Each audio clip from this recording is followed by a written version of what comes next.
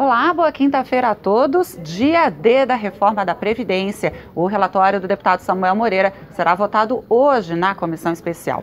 No Palácio do Planalto, o presidente Jair Bolsonaro participa de reunião com ministros e integrantes da Frente Parlamentar Agropecuária. Depois, participa de cerimônia de posse do novo ministro da Secretaria de Governo, o general Ramos. No Rio de Janeiro, um leilão de bens de luxo apreendidos na Operação Lava Jato. Tem lancha do ex-governador Sérgio Cabral e até uma Lamborghini do empresário Ike Batista. E aqui em Brasília, a gente quer saber se é verdade uma mensagem que tem circulado nas redes sociais falando sobre uma possível infestação de escorpiões.